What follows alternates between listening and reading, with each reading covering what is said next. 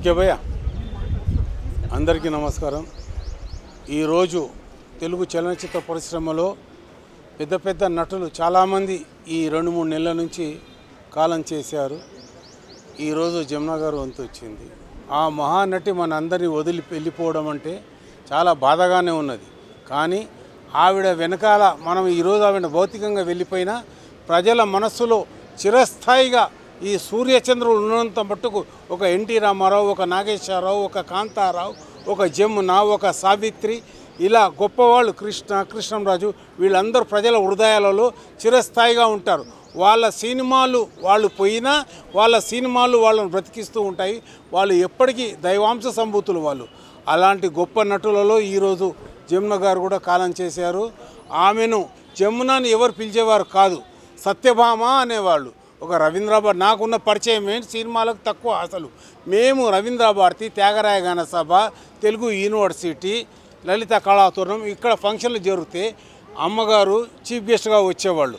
ఆ అసోసియేషన్లో నేను సభ్యుడిగా ఉండేవాడిని.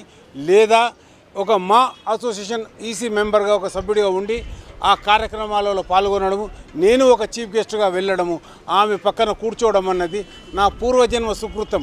అలాంటి గొప్ప నటి గొప్ప వ్యక్తి గొప్ప మనిషి మన నుండి దూరం కావడము మన అందరికీ చాలా బాధ బాధగా ఉంది.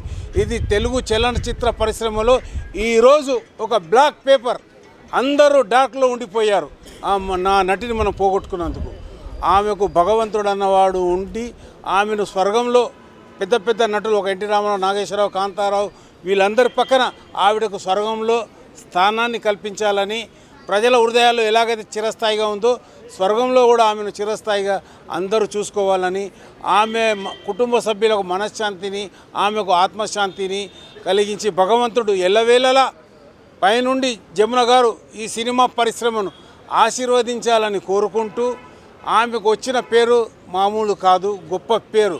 ఒక గులేబాగావాళి కథ మూగ మనసులు ఇలా చెప్పుకుంటూ పోతే అబ్బాబాబా సమయం సరిపోదు. షార్ట్ పీరియడ్లో నేను ఈ మాటలు చెప్తున్నాను. ఆవిడను ఎవ్వరూ మర్చిపోలేరు. ఇక్కడికి వచ్చిన ప్రతి ఒక్కరూ ఆమెను గుండెలో పెట్టుకొని చివరి దర్శనం చేసుకొని పోవడానికి మనస్తృప్తిగా ఆమెను రెండు చేతులెత్తి దండం పెట్టుకోవడానికి వచ్చారు.